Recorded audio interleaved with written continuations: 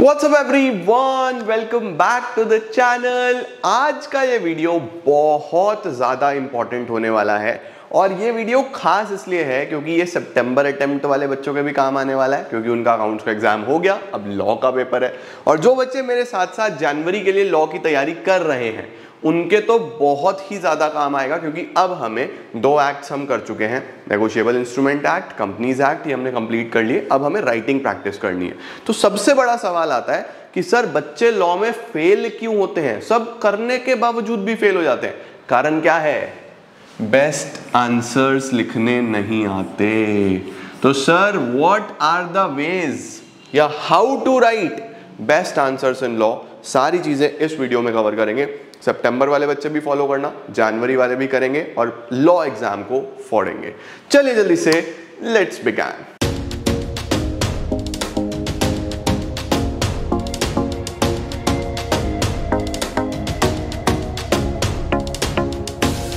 अब बच्चों, जो हमारे जनवरी अटेम्प्ट वाले बच्चे हैं, सबसे पहले मैं उनको बता दूँ कि हमारा अगले हफ़्ते का टारगेट क्या रहने वाला है, क्योंकि इस वीक में हम लोगों ने कंप्लीट कर लिया है नेगोशिएबल इंस्ट्रूमेंट एक्ट तो देखो बच्चों, सबसे पहले तो हमारा कंपनीज़ एक्ट खत्म हो गया, हमारा नेगोशिएबल इंस्ट्रूमेंट एक्ट खत्म हो गया।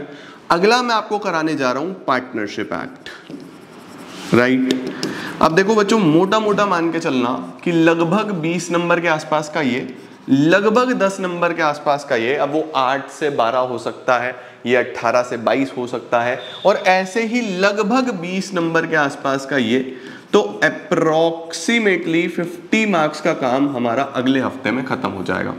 तो अगले हफ़्ते में हमारा टारगेट रहने वाला है पार्टनरशिप एक्ट ये मैं आपको पूरा करा दूँगा। सारा एक्ट समाप्त हो जाएगा। तीन चैप्टर्स हैं। तीनों एक एक क्लास में आपको मैं करा दूँगा। ठीक है? उसके साथ साथ बच्चों, हमारे पास राइटिंग प्रैक्टिस भी हम इस वीक में करने वाले हैं। बहुत सारी राइटिंग प्रैक्टिस इंपॉर्टेंट क्वेश्चंस कराने वाला हूँ तुम लोगों को। क्वेश्चंस बन गए हैं ऑलमोस्ट रेडी है, मैंने आज ही वेरीफाई कराए हैं। बस मुझे उसमें थोड़े से चेंजेस कराने हैं तो मैं कल टीम के साथ बैठ के सैटरडे को उसको सॉर्ट करा दूँगा। तो हमारा जो नेक्स्ट वीक का टारगेट रहने वाला है, बच्चों अकाउंट्स में तो आपको जो मैंने टारगेट्स दिए हुए हैं, वैसे पढ़ना ही है। लॉ में मेरे साथ साथ ही करके चल रहे हो तो इसके और इसके most important question writing practice हम करने वाले हैं, और ये एक्ट पूरा करेंगे। तो काफ़ी पोर्शन हमारा अगले हफ़्ते में समाप्त हो जाएगा। अब बच्चों, जो सबसे इंपॉर्टेंट चीज़ आती है, सर, जो राइटिंग प्रैक्टिस करेंगे, उसमें आंसर्स लिखने कैसे हैं? अब जिन बच्चों का परसों एग्ज़ाम है है ना? उनके पास भी मौका कम है। उनको तो पूरी तैयारी ऑल वो कर चुके हैं, जो हमारे सितंबर अटेम्प्ट वाले बच्चे हैं बट क्या क्या चीज़ों का खास ध्यान रखना है आंसर लिखते हुए? वो सब अब डिस्कस करने वाले हैं। तो देखो बच्चों, बड़ी चीज़ें इंपॉर्टेंट रहने वाली हैं। सबसे पहली चीज़ आती है बच्चों, कि हमें कौन सी लैंग्वेज में आंसर्स लिखने हैं? क्या हम एज इट इज़ मॉड्यूल की लैंग्वेज यूज़ करने वाले हैं? क्या हमें अपनी लैंग्वेज यूज़ कर सकते हैं? सबसे बड़ा और सबसे इंपॉर्टेंट सवाल यह आता है कि सर, क्या एज इट इज़ लिखना पड़ेगा? द आंसर इज़ नो बिल्कुल भी नहीं। कौन, और लिख भी कौन सकता है भाई? कौन सा ऐसा बच्चा है जो एज इट इज़ मॉड्यूल उठा के चिपका देगा? नहीं कर सकता। कोई कर ही नहीं सकता। तो लैंग्वेज आपको क्या करनी है? आपको लैंग्वेज अपनी यूज़ करनी है बट सबसे इंपॉर्टेंट चीज़ जो है, वो है मॉड्यूल में से निकले हुए कीवर्ड्स ये बहुत इंपॉर्टेंट है बच्चों। जैसे कि बहुत इंपॉर्टेंट बीच बीच में से आप शब्द यूज़ करा करो लीगल लैंग्वेज यूज़ करा करो, कि ये शब्द एग्जैक्टली exactly मॉड्यूल में से उठाया, है ना? तो कई इस तरीके के वर्ड्स हैं, जो आपको हर टॉपिक में मिलेंगे। राइट अब हमने बहुत सारी डॉक्ट्रिन पढ़ी कंपनीज़ एक्ट में डॉक्ट्रिन ऑफ़ इंडोर मैनेजमेंट पढ़ा, है ना? डॉक्ट्रिन ऑफ़ अल्ट्रा वायरस पढ़ा। तो वहाँ पे अल्टीमेटली वहाँ पे कुछ शब्द हैं कीवर्ड्स हैं, जो आप एज इट इज़ यूज़ करो। राइट नेगोशिएबल इंस्ट्रूमेंट एक्ट में कई जगह पे बीओई के लिए प्रोमिसरी नोट के लिए चेक के लिए, कई जगह पे अलग अलग लैंग्वेजेस यूज़ हुई हैं। तो वहाँ से आप अपनी लैंग्वेज में आंसर फ्रेम कर सकते हो बट वो कीवर्ड्स उठाना बहुत इंपॉर्टेंट है। और वो कीवर्ड्स आपको क्या करने हैं? अंडरलाइन भी करने हैं। अगर अंडरलाइन नहीं करोगे तो दिक्कत हो जाएगी। तो आपको कीवर्ड्स अंडरलाइन भी करने हैं, ठीक है? उसके बाद सर सेक्शंस कौन कौन से कहाँ कैसे कैसे लिखने हैं? बच्चों, देखो, दो चीज़ें होती हैं। या तो मुझे सेक्शन याद है, या मुझे सेक्शन याद नहीं है। है ना? अब सेक्शन अगर मुझे याद है तो आप उसको लिख दो। अगर आपको सेक्शन याद नहीं है तो कोई ज़रूरत नहीं है बच्चों रिस्क लेने की। गलत सेक्शन मत लिख के आना please it's better to not write section than to write the wrong section please understand अगर आप गलत सेक्शन लिख के आओगे नंबर कट जाएँगे भाई। सेक्शन तभी लिखना जब सेक्शन याद हो। जो हमारे जनवरी वाले बच्चे हैं, जिनका अटेम्प्ट है, मैं उनको पूरे सेक्शंस की इंपॉर्टेंट सेक्शंस की लिस्ट प्रोवाइड करूँगा। सिलेबस पूरा होने के बाद रिवीजन है वन शॉट्स हैं मल्टीपल चीज़ें हैं, मैंने तुम्हें बताया।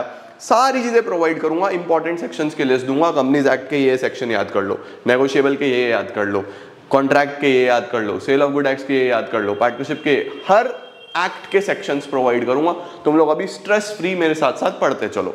जो बच्चे सितंबर वाले हैं, वो ऑलरेडी सेक्शंस याद कर चुके होंगे। नहीं करे तो मेन मेन सेक्शंस जो हैं, आप जिससे भी, जहाँ से भी पढ़े हो, उन्होंने आपको बताए होंगे कि ये ये मेन मेन सेक्शंस हैं। वो आप ज़रूर याद करके चलना बच्चों। ठीक है? तो सेक्शंस देखो सेक्शंस अगर आप लिखते हो तो आपकी कॉपी दूसरी कॉपी से ज़्यादा बेटर बनती है क्योंकि कम बच्चे हैं जो सेक्शंस लिखते हैं। ज़्यादा बच्चे सेक्शंस नहीं लिखते। काफ़ी सेलेक्टिव बच्चे होते हैं जो सेक्शंस लिखते हैं और आपको लिखने हैं। लेकिन अगर आप श्योर हो अगर आप थोड़ा सा भी डाउटफुल हो ना तो मत लिखना। ओके ठीक है? सेक्शंस हो गया। कीवर्ड्स का मैं आपको पहले ही बता चुका हूँ। कीवर्ड्स यूज़ करो। मॉड्यूल में से इंपॉर्टेंट वर्ड्स उठाओ और उन वर्ड्स को यूज़ करो। थोड़ा सा प्रोफेशनल लैंग्वेज यूज़ करना। मतलब एक तो हो गई नॉर्मल इंग्लिश है ना? एक तो हो गई नॉर्मल इंग्लिश आपको उसके अंदर लीगल वर्ड्स ऐड करने हैं ताकि वो थोड़ा सा प्रोफेशनल आंसर लगे। ऐसा ना लगे कि बच्चा कोई ट्वेल्थ का बैठ के आंसर लिख रहा है। लगना चाहिए कि हाँ भाई सी स्टूडेंट्स हैं। थोड़ा सा लॉ को समझते हैं। लॉ की भाषा में आ चुके हैं। लीगल लैंग्वेज को पकड़ करने लगे हैं। अच्छे तरीके से आ गए हैं राइट तो थोड़ा सा कीवर्ड यूज़ करना उनको अंडरलाइन करना प्रोफेशनल लगना चाहिए आपका आंसर ठीक है? अब आपका आंसर फ्रेमिंग का क्या पैटर्न रहना चाहिए बच्चों? आंसर फ्रेमिंग कैसे करनी है? किस तरीके से सर जब केस बेस्ड क्वेश्चन आएगा तो क्या करना है? तो देखो बच्चों, जब भी आपका केस बेस्ड क्वेश्चन आएगा ऑल दो जनवरी वालों को मैं प्रैक्टिस भी कराऊँगा बट फिर भी मैं बता दूँ, कैसे लिखना है? देखो बच्चों, आपको पहली चीज़ तो ये ध्यान रखना है कि आपका हर नया क्वेश्चन नए पेज से शुरू होना चाहिए। ये अपने माइंड में रखना, ठीक है? फॉर एग्ज़ाम्पल तुम्हारा एक क्वेश्चन ये पेज है आपके, और डेढ़ पेज में खत्म हो गया। लेट सपोज़ यहाँ से आपने लिखा पहली चीज़, दूसरी चीज़, तीसरी चीज़, अब ये खाली पड़ा है। तो यहाँ पे आंसर नंबर टू शुरू नहीं करना प्लीज़ हर आंसर नंबर नए पेज से शुरू होना चाहिए। ये चीज़ दिमाग में रखना बच्चों। Presentation neat and clean every new answer on new page provisions अच्छे तरीके से मार्क करके इंपॉर्टेंट वर्ड्स अच्छे तरीके से मार्क करके प्रोफेशनल लैंग्वेज में लिख के चलना है। ठीक है? अब देखो, मैंने क्या बोला? सपोज़ करो कि चार नंबर का क्वेश्चन आया फोर मार्क का क्वेश्चन आया। ठीक है? अब आप किस तरीके से लिखने वाले हो? सबसे पहले फैक्ट्स ऑफ़ द केस जो भी क्वेश्चन है उसमें क्या चीज़ें बोली गई हैं आधे पेज पे तुमने अच्छे तरीके से फैक्ट्स लिख दिए। अब लाइन मत खींचना ठीक है? अब हो सकता है वो 20 परसेंट पे आ जाए 25 परसेंट पे आ जाए 30 परसेंट पे आ जाए मैं तुम्हें समझा रहा हूँ। पहले फैक्ट ऑफ़ द केस लिखने हैं। फैक्ट ऑफ़ द केस के बाद फिर आपको प्रोविज़न लिखने हैं। ठीक है? मतलब कि किस पर्टिकुलर लॉ से ये चीज़ आई है, ठीक है? यहाँ पे आपको सेक्शन ब्रीफ करना है as per section this of this act ठीक है ना? प्रोविज़न मेंशन करना है। तो पहले तो फैक्ट्स ऑफ़ द केस हो गया कि केस लॉ ये एक्चुअल में ये बताता है कि आपको कितना क्वेश्चन समझा, आपकी अंडरस्टैंडेबिलिटी कैसी है, आपने समझे या नहीं समझे? तो फैक्ट्स ऑफ़ द केस हो गया। फिर प्रोविजंस मेंशन करने हैं as per this section of this act ठीक है? As per section three of the Indian partnership act right तो आपने इस तरीके से डिफाइन करा प्रोविज़न लिखा। यहाँ पे प्रोविज़न मेंशन करा कि उसमें क्या है? और फिर आप कॉन्क्लूड करो।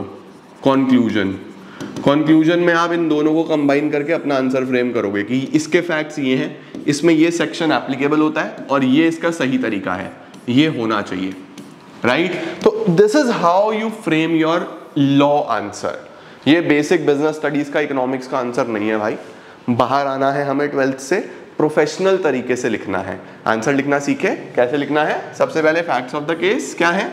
फिर प्रोविज़न कौन सा लग रहा है? और फिर कंक्लूजन क्या है? मैं कैसे कंक्लूड कर रहा हूँ? मेरी तरफ़ से क्या चीज़ें होनी चाहिए? जितने जितने इंपॉर्टेंट पॉइंटर्स हैं, वो सारे आपको लिखते चलने हैं। इस चीज़ का ध्यान रखना है। अगर इस पर्टिकुलर पैटर्न में आप आंसर नहीं लिखोगे तो गड़बड़ हो जाएगी बच्चों। इस बात का ध्यान रहे। राइट तो every answer of yours should be divided into three parts सही है? Facts of the case provision और कंक्लूजन कि आप क्या कंक्लूड कर रहे हो? आप क्या समझे? आपके हिसाब से ये चीज़ होनी चाहिए।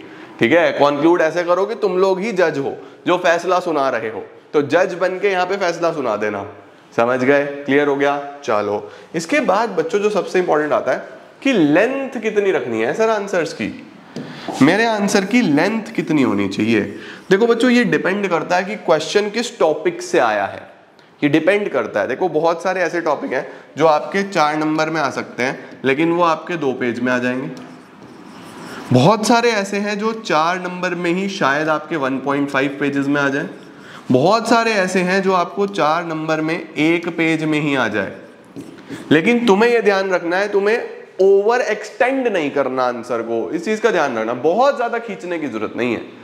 आप लिखो precise answer to the point answer checker को भी ज़्यादा दिक्कत नहीं होनी चाहिए। वो जब आपका कॉपी चेक कर रहा हो तो उसको दिखना चाहिए कि भाई आईसीआई ने बोला कि ये फैक्ट ऑफ़ द केस बच्चे ने लिखा है डन ये प्रोविज़न होना चाहिए, लिखा है डन सेक्शन मेंशन करा है क्या? डन नहीं करा कोई बात नहीं। सेक्शन मेंशन करा है डन कंक्लूजन में इसने रिलेट करके क्या सारी कंडीशंस लिख दी जो चाहिए थी? डन रहना प्रिसाइज ही है। खींचो मत चीज़ों को। प्रिसाइज रहो टू द पॉइंट आंसर लिखो एक्यूरेट आंसर लिखो सारे प्रोविजंस मेंशन करो बढ़िया पूरे नंबर मिल जाएँगे बच्चों ठीक है? तो हमेशा ध्यान रखना कि लेंथ को आपको बहुत ज़्यादा खींचने की ज़रूरत नहीं है।